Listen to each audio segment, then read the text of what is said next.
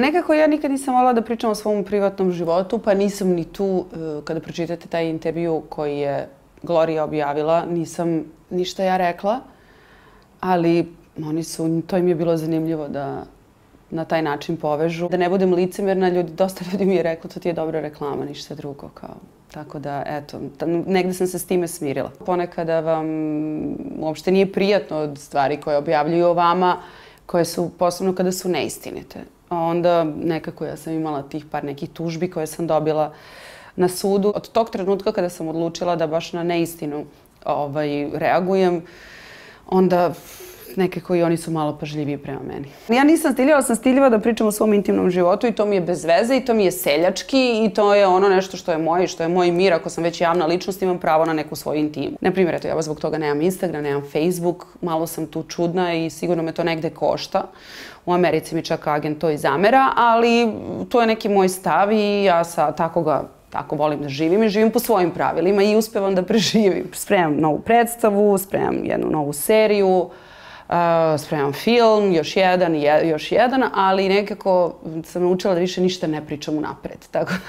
Eto, mogu predstaviti da pričam. Ona je deo mog projekta uh, koji je zapravo zasnovan u Americi, a to je širenje, to je kao neki moj uh, projekat gde se ja bavim širenjem srpskog jezika i kulture. Nina Seničar je moja partnerka u toj predstavi, pošto i ona živi u LA-u, tamo smo i došli na tu ideju da nešto radimo zajedno. Zove se predstava Preljubnice, samo je jedan pravi, vrlo interesantan tekst, modern, uzbudljiv, izazovan, čak i skandalozan i provokativan, ali eto, vidjet ćete. Naporno mi je, ali ne bi da kukam, svi imamo teške momente i kad nema posla i kad ga ima više, kada misliš da je sve uzaludno što si se trudio i radio, onda se desi neko sunce i tako. Tako da e, imam uspone i padove, ali sam uglavnom zadovoljna. Vrlo je dobra stvar da se ćelije zamrznu do 30. godine kad su najbolje, najzdravije i onda žena prosto u određenom trenutku kada želi može da zasnuje porodicu onda kada želi, a ne kada mora zato što je biološki sat otkucava. Ja sam se negde osetila nakon toga oslobođeno i bez ikakvog pritiska da sad nešto moram da se udam po svaku cenu, da moram sad tu decu da rađam,